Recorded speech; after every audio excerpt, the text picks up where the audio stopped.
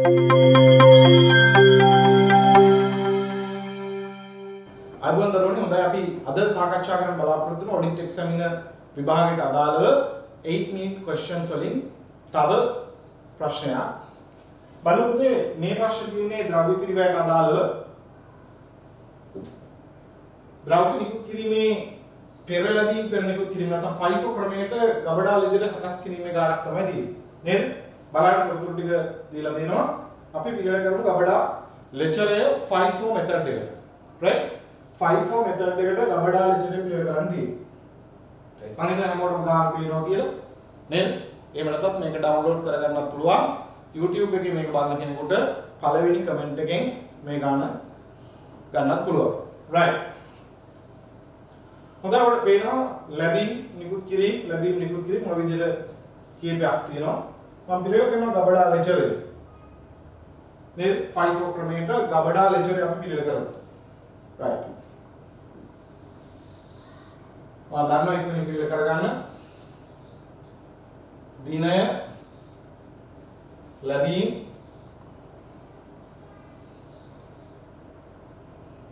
ලැබීම් නිකුත් කිරීම ශේෂය.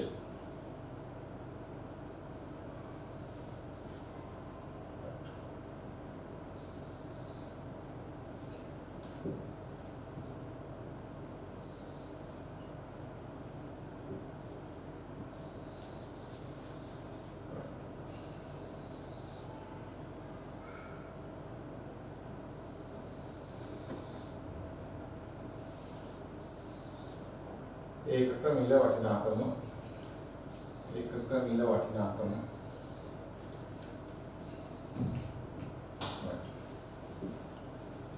දිනය ගබඩා ලෙජරේ නැත්නම් ගබඩා සමාන පත්‍රය 54 the stream first half ලැබීම් නිකුත් කිරීම ශේෂය ඒකක මිල වටිනාකම. ඒකක මිල වටිනාකම. ඒකක වටිනාකම. Right. ටග්ගාල ලබඩා ලෙජරේ රූල් හතක් අටක් විතර පිළිවෙල කරගත්තා. 5 4 ක්‍රමයටයි කබඩා ලෙජරේ පිළිවෙල කරන්න කියන්නේ. නේද? අපි සාකච්ඡා කරලා දෙන මේ ප්‍රින්සිපල්ස් right. මුලින්ම පුතේ මේ 10 ආරම්භක තුක ගැන සඳහනක් නැහැ. මේ ලැබීම් මේකක 200ක් රුපියල් 10 ගන්න. ලැබීම් මේක 200ක් රුපියල් 10 ගන්න. ලැබීම් මේක 200 රුපියල් 10 ගන්න 2000.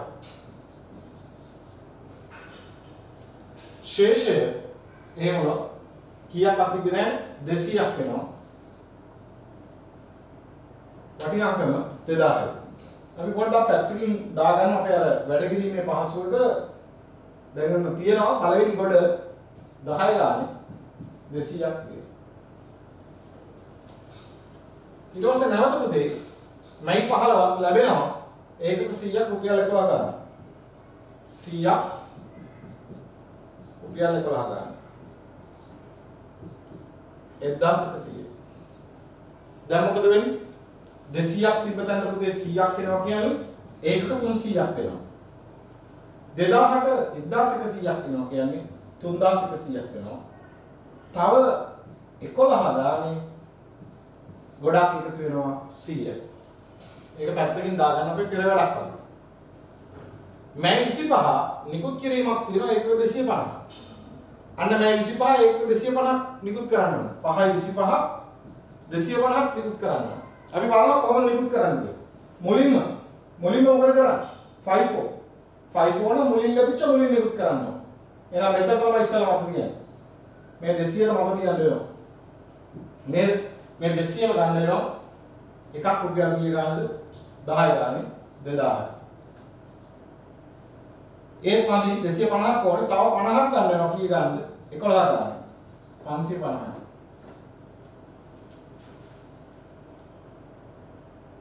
ඔන්න මෙතන තව ඉතුරු වෙන්නේ කීයද 50 නේද ඒ විදිහට තමයි 250ක් ඉෂුව කරන්න වෙන්නේ ඒ ඉෂුව කරන එකේ වැලියු එක 2550. ඒ කියන්නේ පුතේ ශේෂය 300ක් තිබ්බදෙනින් 250ක් ගියාට පස්සේ ශේෂය ඉතුරු වෙනවා ඒක 50. 3100න් 2550ක් ගියා. 3100න් 2550ක් ගියා. ඉතුරු වෙනවා 550.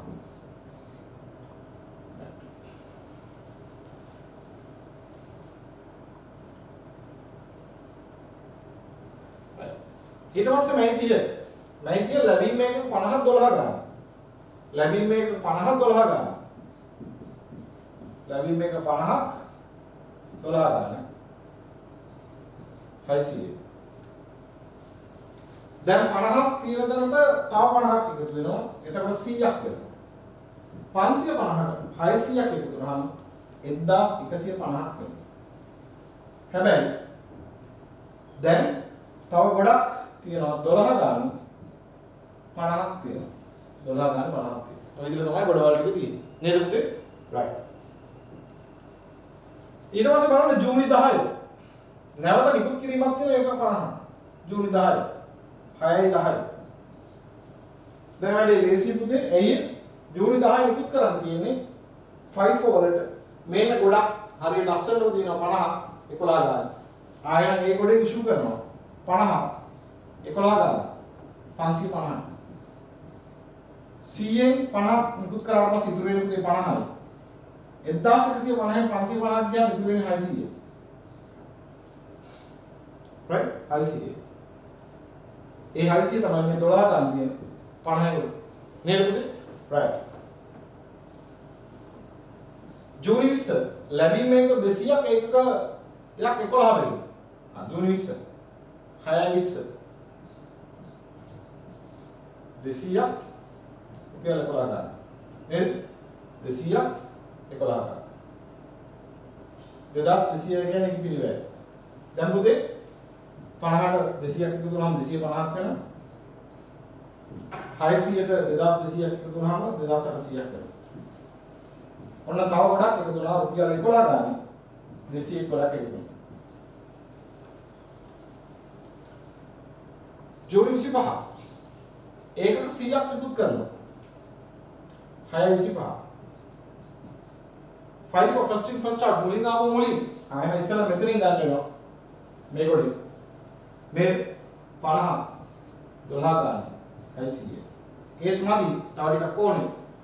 නේද තව 50ක් ඕනේ. එතන මේක 50 ගත්තාම තව 150 ඔය 100ක් ෂෝ කරන්නේ නේ මේ බලන්න. 100ක් ෂෝ කරන්නේ. ජූනි 25 එහෙනම් තව 50ක් ඉෂු කරනවා. අපි ඒවා ඒවා තියෙන 11 ගානේ. කොස්ස 550. ඒක ඔක්කොම 100ක් ඉෂු කරලා තියෙනවා. 1150.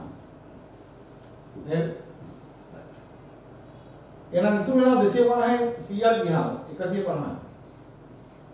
250න් 100ක් ගියාම ඉතුරු වෙනවා 150. 2800 1150ක් ගියාම ඉතුරු වෙනවා 1650. right හරි. එහෙනම් පැහැදිලිව හිතන්න පුතේ. නේද? හරි. එහෙනම් අපි 8 minute costing වලින් නේද? 8 minute costing වලින් තව ගානක් සාකච්ඡා කරමු.